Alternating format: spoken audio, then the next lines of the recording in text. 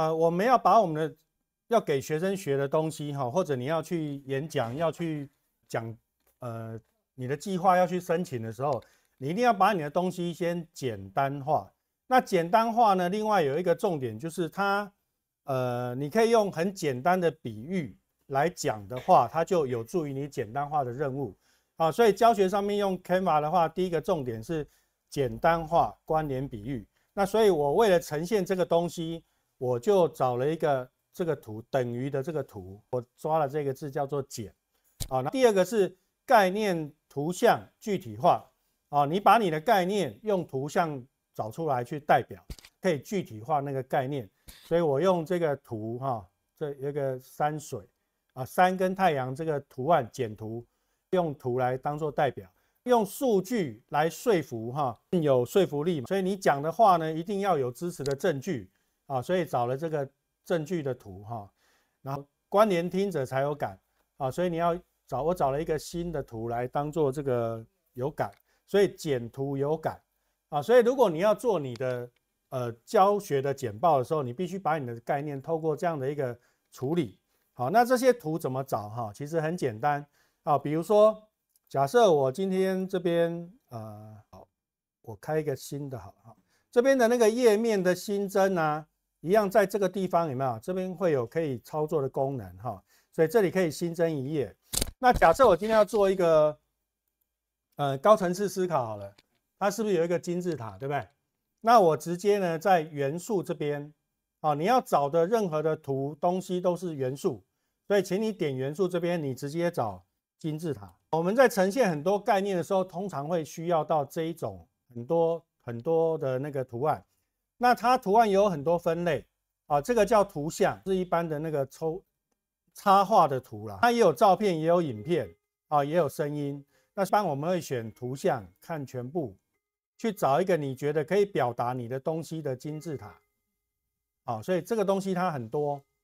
啊，所以你要表达概念的时候，应该可以很容易找得到哈。比如说，我们就拉出来，拉出来，然后直接直接再把它放进去。这时候我就可以使用文字去点一个文字去去标注，比如说呃，第一个是生理需求，那个叫马洛斯生理需求。那我们通常会因为这这个格式都会是一样的，所以我们通常会把它怎样格式先调好。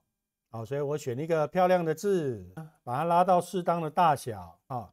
如果你觉得都好了之后呢，我们直接 Ctrl C Ctrl V 复制，然后再去改字。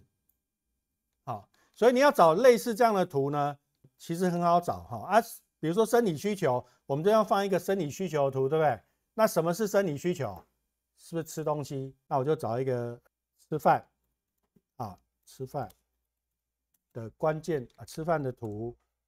啊，要么找到各各种各式各样的吃饭啊，啊，你就怎样把或者如果你觉得这里没有没有可以精确表达你的概念的东西，你就换一个名词，好，换一个关键词，但是一样就是你要的那个图的关键词，比如说食物啊，好，那这个可我觉得可以代表，我就把它拉出来，怎么样？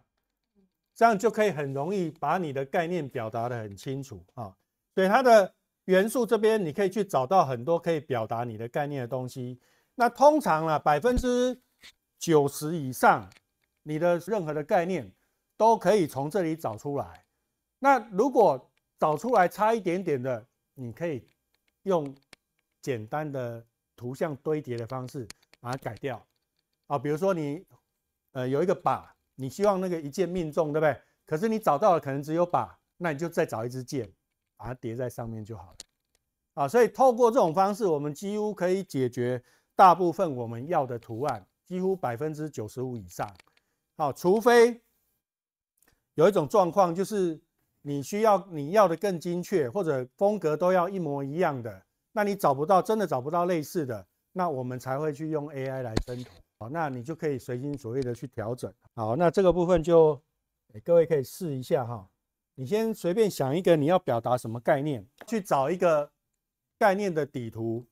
啊，比如说什么圆圈啦、循环啦、什么卫星图啦、金字塔图啦、哦范式图啊，那那种里面一堆，哦各式各样这种东西都一堆哈，所以用这个来写的计划哈，去报告的时候超级有水准我一般的简报也大概就是用到这些功能而已。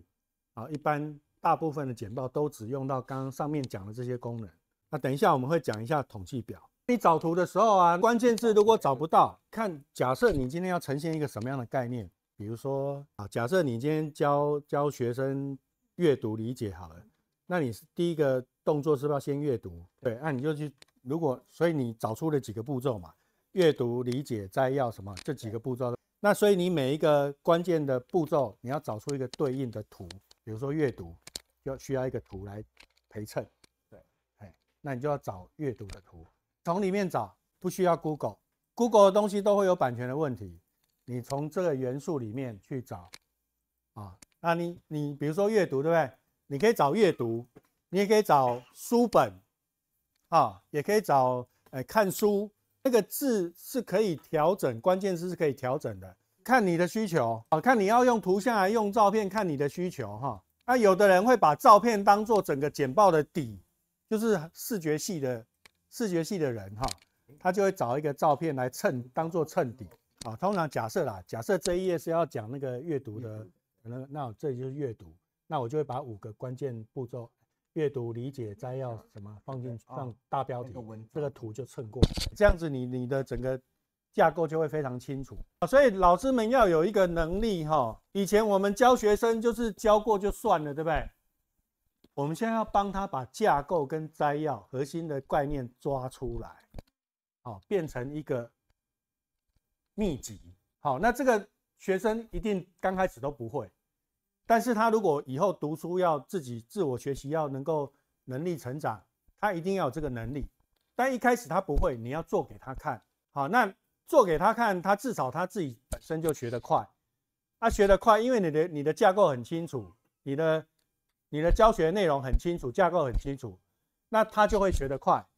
等到一阵子之后，你就跟他说，哎，其实这个部分是你可以自己产生的，那你就要教他怎么去后设啊，把你在阅读的过程中哪些是重要的关键字抓出来，他们之间的关系就会形成一个架构。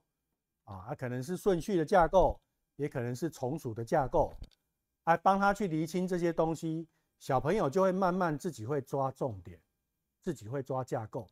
好，那他以后就会成长的很快。啊，这这种你如果教会小朋友这个技能，小朋友以后是可以不用靠老师的。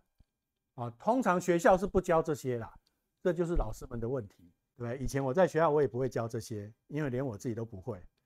好，一直到我用 Canva，我才体会到这一件事情啊，所以我才知道啊，原来以前那些超级老师到底是怎么弄的？